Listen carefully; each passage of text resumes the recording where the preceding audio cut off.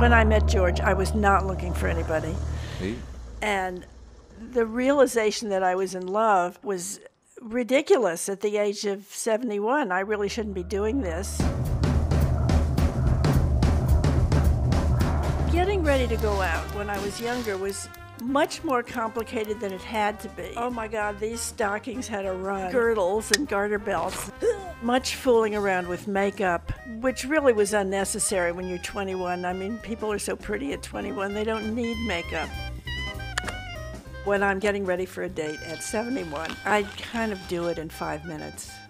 Finding things in common with somebody, I remember that was thrilling. I would go out with a young man, and we both liked Chinese food. That made me think we, we were soulmates.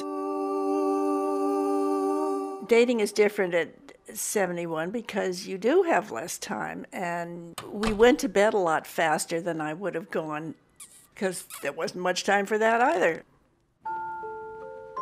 George loved women, and I was always glad I hadn't met him 30 or 40 years ago because I wouldn't have been able to stand it. But by the time I met him, he couldn't run very far. there is a sadness. Somebody wasn't going to last very long, and because he was older, it was going to be George. I didn't feel like I was going to die if George left me. At 21, I really felt if the guy turned around and left me, I would just die. When it was George, I knew I'd survive.